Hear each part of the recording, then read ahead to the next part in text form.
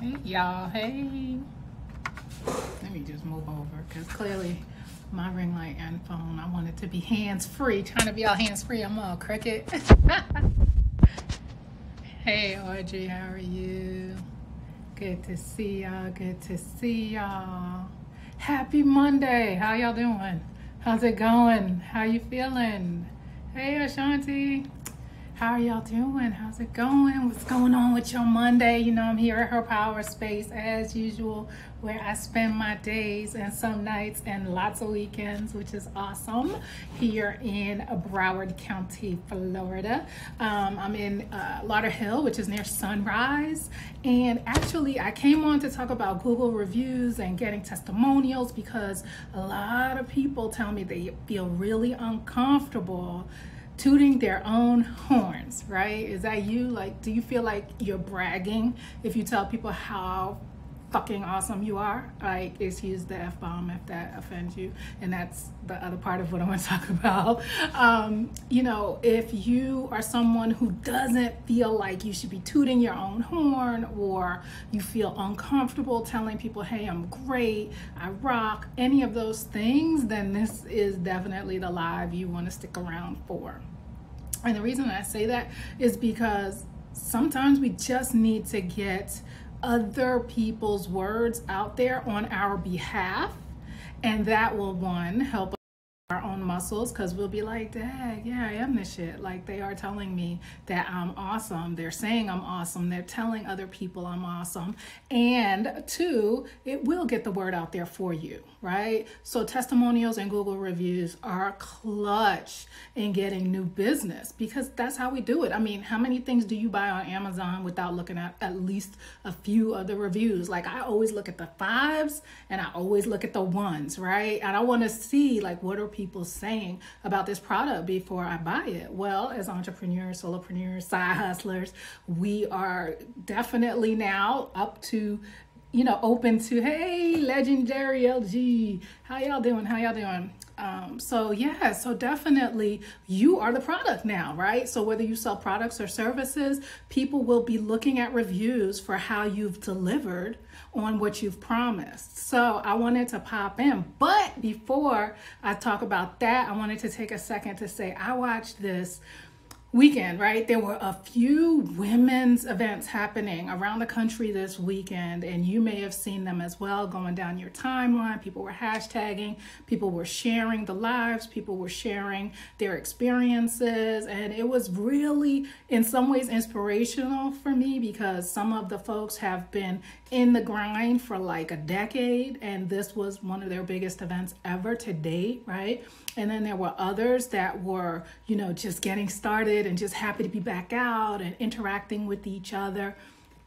And I was watching some of them and really important and this is actually going to talk to the reviews and testimonials is that knowing who your audience is is clutch. Knowing who you serve, knowing who your ideal customer is, is so important. Hey, girl. Hey, Michelle.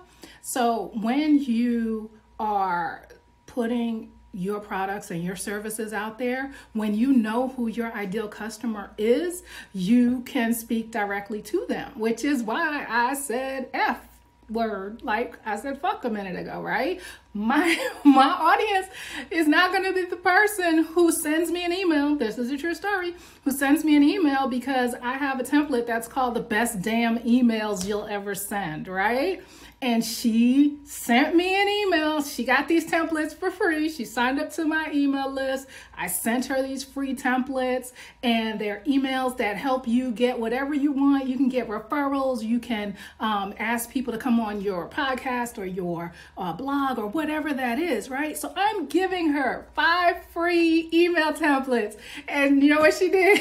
she she sent me an email that that said I was really, you know, wanted to reply to your email and I saw this really cute cover that would have been cute if it didn't have the word damn in the title.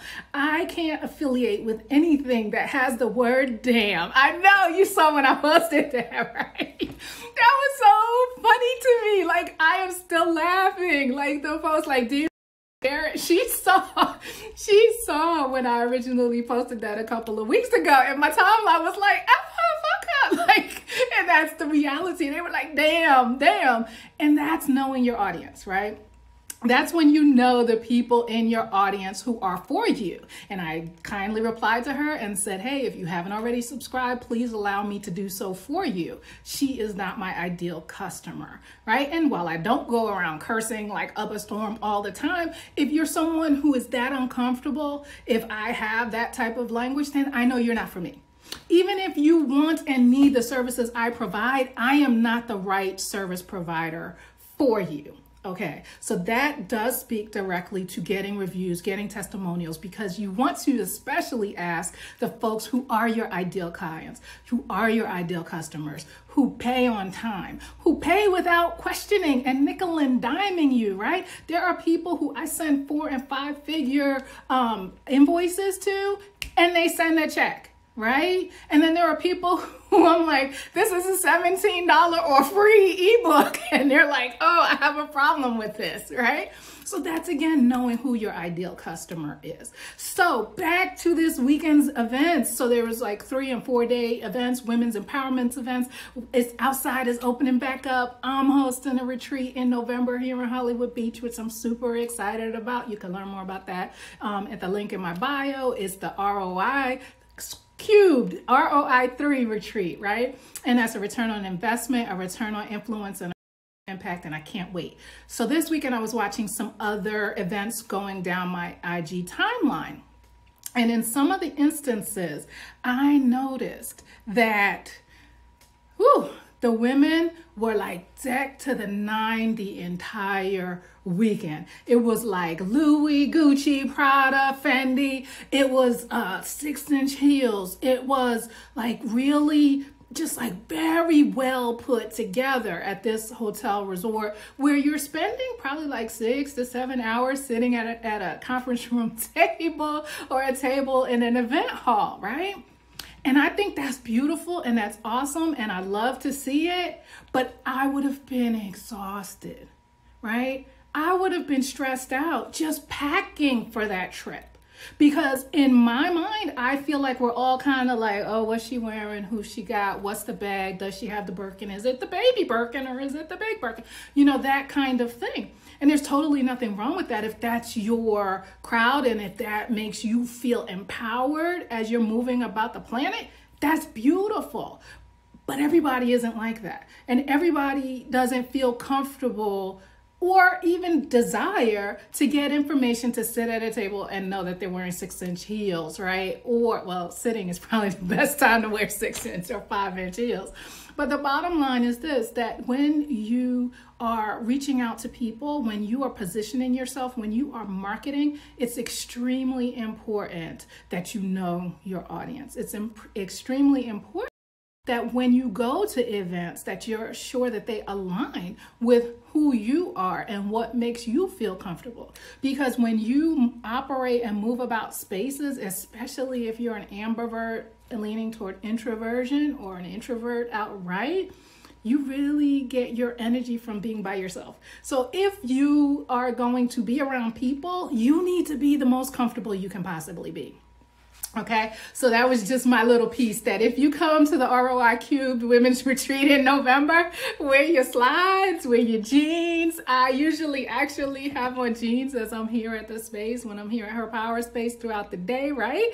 I am a co working space, and most co working spaces, I'm sitting at my desk, I'm helping people. I'm sometimes moving furniture around for events and for people to be able to host their clients and customers in the space. So I usually have on like flip flops and and and jeans and and things like that right? So i need people to want to come in here who are comfortable seeing me in that presentation on a day-to-day basis. That's how i move about right and so i just wanted to pop in here now to talk about Google reviews and testimonials. How many of you guys get Google reviews for your business? How many of you are on Google My Business? I guess I should start there. Ashanti, what if you don't know your audience? How do you figure that out? I think that's a great question, Ashanti.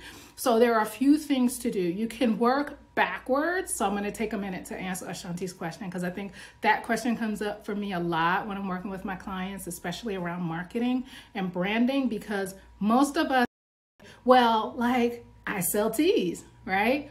I sell tea, so uh, I can go ahead and serve everybody in the population who drinks tea, right? And that's one way to go about it, right? That's a Starbucks approach. But most of us are not Starbucks yet.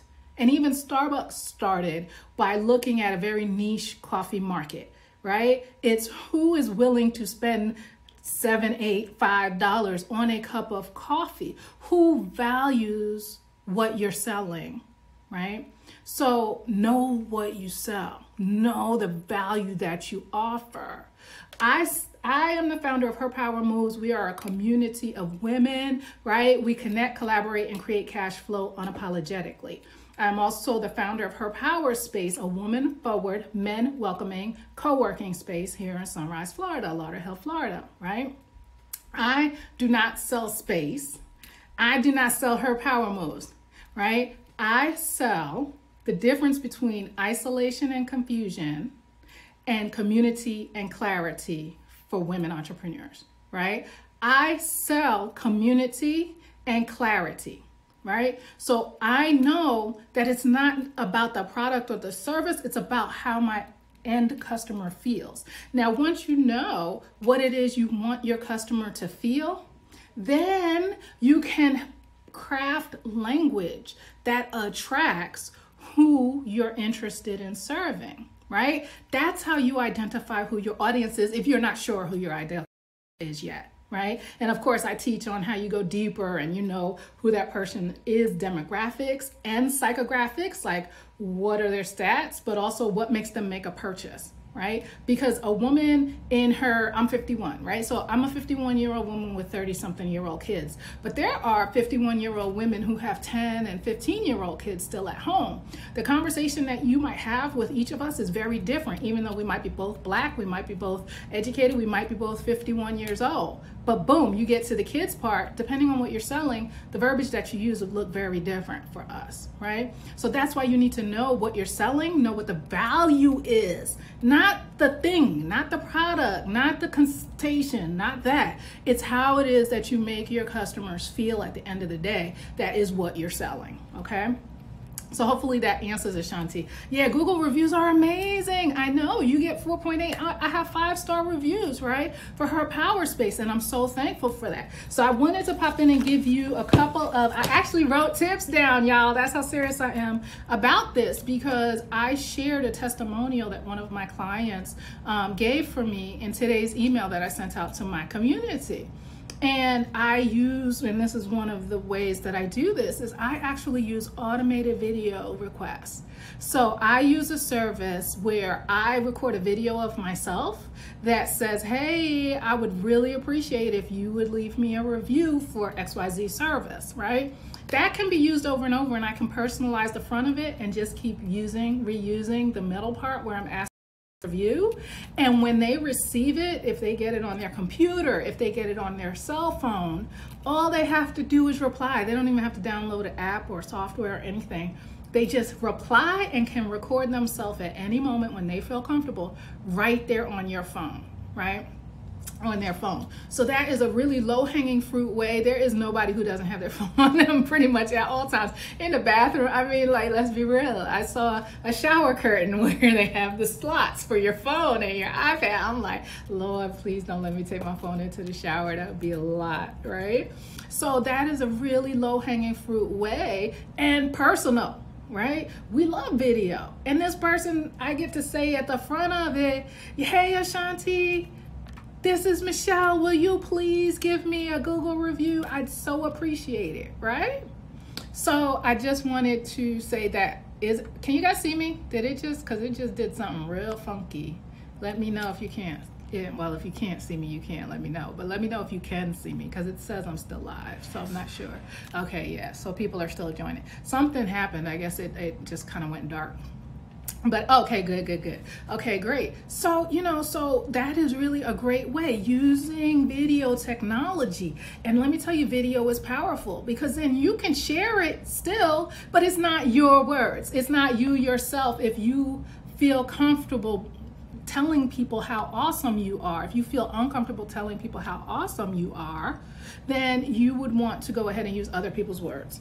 Another way is that you Again, remember we said be on Google My Business. That is really important. And if you don't have a business address and you don't want to use your home address, you can use a co working space like Her Power Space where we actually accept your business mail for you and you can use it as your business address for Google My Business, for Yelp, for you to not have a pin drop on business pages on top of your home, right? Because if you use your home address and for Google My Business, it will actually show the satellite and all of that of your actual physical home. And most people clearly don't want to do that.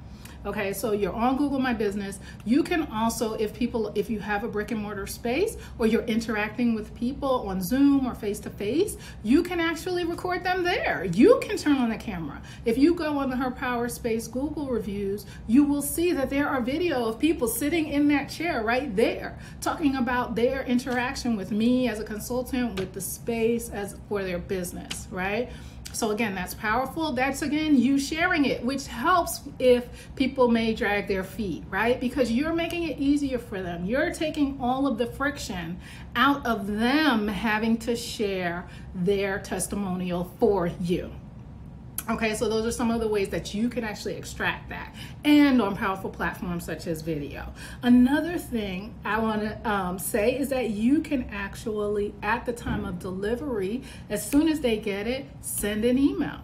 We have something called drop ins here. You can come and get on the Wi Fi for $25 a day and just drop in. You don't have to be a member. Anybody can come in and just get on the Wi Fi, work while we're open and go in and out, get their food, come back, whatever that is, right? And that is 25 bucks a day, and that's considered a drop in. Well, of course, everybody who uses the space, I get their email addresses. And this is going without saying that. Number one, you're on Google My Business. Number two, you're getting people's email addresses when you're working with them, right? And then I send a follow up immediately. There's an automated email as soon as they get imported into my email service provider that goes out and says, Hey, we were so happy to have you in this space. Just click here, please. We'd love to hear your thoughts. And I have a little simple survey as well as a link to Google reviews. Again, just automating it, making it easy, one click for them. They write something up right when they've had the experience. And speaking to the experience, that means that you have delivered above and beyond, right? So it goes without saying that you're delivering above and beyond that you're on Google My Business or Yelp or both or some other provider for your industry where people can review you. And that you are delivering service that is way above and beyond what their expectations are, right? And if you don't, if you miss the mark, ask them because people also love to give bad reviews, right? So you want to find out exactly where they stand so that you can maybe correct it before they go and hit the Googles and the Twitters and every place else, right? Another really easy thing that you can do is put in your signature block. You can put a link to your Google right in your signature block. My signature block rotates based on what it is that I have going on at that time. So when we had our anniversary, January, I had a click. You can watch the video of our anniversary, right? Celebrating our first year opening during a pandemic for a brick and mortar space, right? So you can put that link right in your signature block. So it goes to every person you email. And literally people will reply to emails that I send. And I'm not even thinking about my, my signature block has this call to action saying, hey, check out this video. Hey, have you registered for the ROI Cubed Women's Retreat yet? Whatever that link is that I want people to be directed to in my signature block, people reply to me and say, oh, Michelle, I watched your video. That was so great. And in my mind, I'm like, what video? Oh, the signature block, right? They literally feel like I've said to them directly, hey, check this out. And it's just something that is in my signature block, whether I'm sending it from my phone, update your signature on your phone, or I'm sending it from my laptop or any other device, right? So I wanted to just give you those ideas and the final bonus ideas. Were these helpful to you? Let me know if these were helpful ideas for you and drop any that you have yourself that I haven't already shared. The last thing I wanted to give you as a bonus is to incentivize people giving you testimonials and reviews. And that means you can offer discounts. You can you can offer affiliates right? So for the women's retreat that i'm hosting here in november in hollywood beach i am i have selected a handful of women in our community right? Who if they share the opportunity with the women in their community 15% they get a percentage of every sale i make right because that incentivizes them. They were going to share it anyway. And a lot of them just go, don't even worry about the, the link, Michelle. Just I'll go ahead and share it, right? So think about ways that you can get as many testimonials, written form, verbal, email, ask people if they send you an email, if you can share it. And then also give incentives, get a discount, refer a friend. We've all seen these things in action out and about in the marketplace, right? But incorporating them into our business is really helpful and will help us expand our footprint. And that's the key. We want we need more people to know about us so we have more opportunities to market to them and then have the sale. Because the bottom line in business is we are all business people, right? You're welcome, Nisi. You're welcome, Joe. Thank y'all for being here. Hopefully, this was helpful. My name is Michelle Talbert. I'm the founder of Her Power Moves, where women come to connect, collaborate, and create cash flow unapologetically. And if you're here in South Florida, I am the founder of Her Power Space. We are the first Black woman owned co working space, podcast studio, business mail call center.